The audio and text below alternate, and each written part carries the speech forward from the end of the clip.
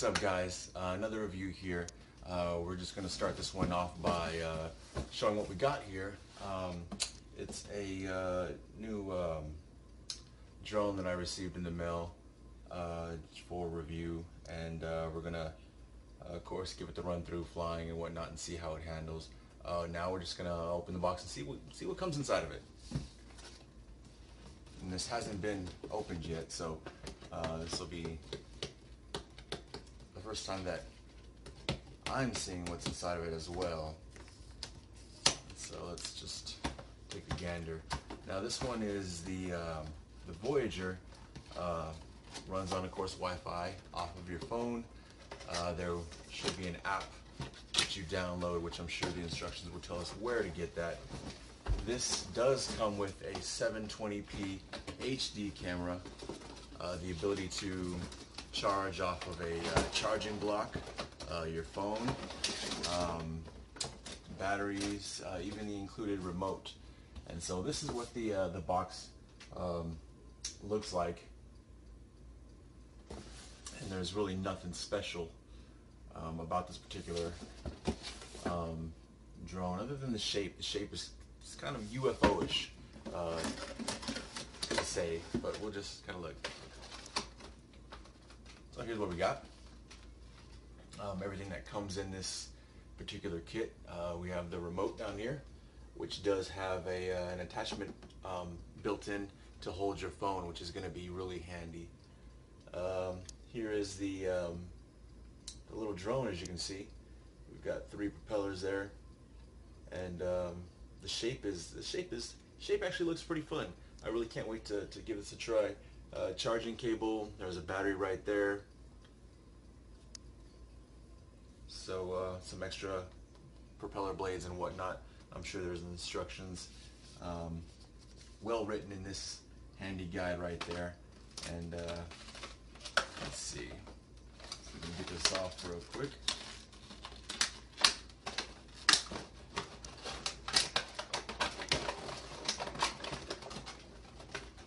Now, just at first glance, this is going to be compared to some of the other drones I've, I've uh, reviewed. All in the 50 to $80 range. Um, there have been a few that are higher, but realistically, all of these end up about the same. Um, unless you're very gentle with them, they tend to be very fragile. Uh, flying them is is is, a, is alert um, skill and uh, you know things can break. So here's the charging cord included. It has an indicator light to let you know when the battery is full, which is very handy.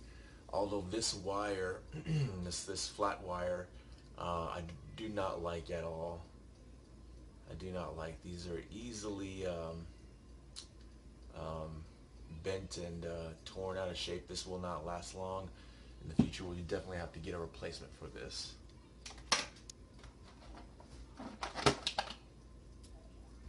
Here's the battery. Um, this is a 350 uh, milliamp hour, 3.7 volt battery. Um, this is pretty common as far as the size goes. Uh, and I'm sure you can get these on Amazon, plus find these online at the manufacturer's website or whatnot. Um, and that will expand once it's once it's charged, and we can probably show that in another video. But this battery will expand in the future. But that's your basic battery, um, basic charging cable. Here is a USB adapter, which is really kind of cool. I, I didn't um, know that this particular item came with it, but it appears there's some kind of placeholder in there. It comes with a 4 gig SanDisk memory card. So you have an SD card included, 4 gigs, with this very tiny micro USB card reader, which is very cool, very handy. I didn't read about this anywhere um, on the inbox as included or even on the Amazon page when the seller um, offered to send it to me for review. So that's actually a very uh, nice, nice feature. Um, this particular uh, um, drone was going for, I believe, around $85, maybe $88 when I looked. Um, and, and hopefully it doesn't let us down, but that, that's about basic price for a really um, decent flying, um, R, uh, I'll keep wanting to say RV, but a, a drone or flying copter, which whatever you prefer. Six replaceable blades included, very handy. Here's the meat and potatoes. 720p camera included right there. You can see the uh, the uh, wireless antenna at the bottom, which is really best um, in order to keep a, a good uh signal contact.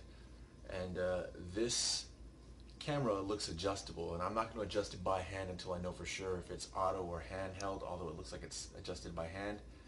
Um, it looks like it detaches uh, through a wire right here, comes off because underneath it is where you put the battery in, so um, definitely want to be um, careful with this camera um, housing because this is where you're viewing your 720p to phone video at, so this is going to be um, something that you need to be careful with. Lots of uh, legs, so hopefully when you land, you really get a nice, um, solid landing. Uh, it appears to be there's some LEDs around the top, and I'm sure we'll see those uh, in the future as well as there's a few on the bottom. So um, the box, I think they look blue, so we'll see what they look like uh, once we get this charged and, and flying.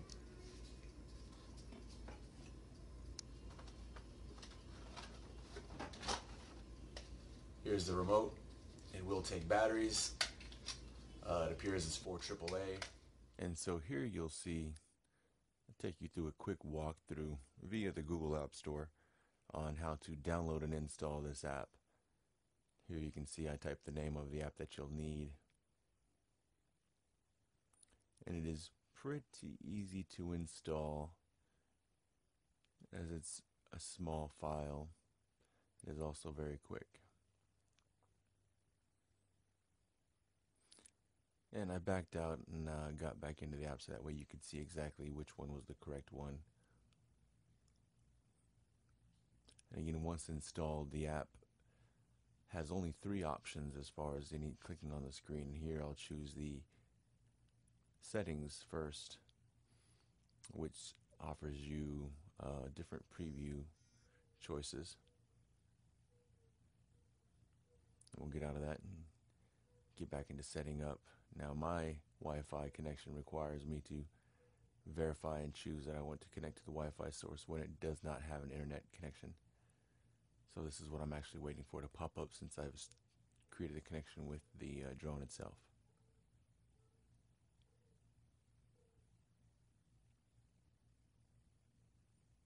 Now once that's done, I, um, as you see here, have got the connection to the drone and I'll start to fly. I've taken the on-screen controls off.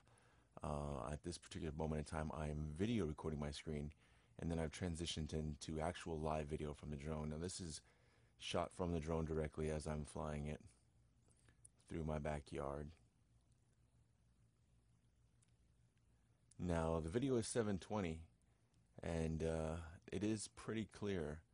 Um, there are some moments when flying or moving, it does become a little shaky. But uh, for the most part, everything is is is pretty solid. And there I am, just giving a cameo, uh, just to show how well the uh, the video does work. Now, what I'm doing here, tapping the screen on my phone, is I'm taking uh, photos, and I'm transitioning back to the um, video from my phone. This is where I'm screen shooting uh, what I'm seeing as I'm watching the live video on my on my uh, my phone. Now there was a moment or two where I I did crash and uh, well I wouldn't say crash but um, yeah I might have uh, lost balance hit something and then you know flopped to the ground but I wasn't too high up as it was so there was no damage done or anything like that and as I said in the, the video of the previewing of the opening of the contents, uh, this does have extra propellers and whatnot, so it is prepared in case there are damages that do occur. Now, the video that you see is a little bit smaller because it's recorded from the phone screen, but it it's just to show you um, how well the quality coming from the drone is. And what I'm doing is I'm switching here now to just my video camera on the phone so you can see exactly um, what the drone is looking like as far as uh, when it's spinning, flying, and whatnot. So I try to just to get a little in action video. It was pretty responsive. The battery uh, seemed to uh, last about 10 minutes or so. After that, it would just, um, as most drones of this size do, uh, wouldn't lift off the ground as it would just spin the rotors. And there you go.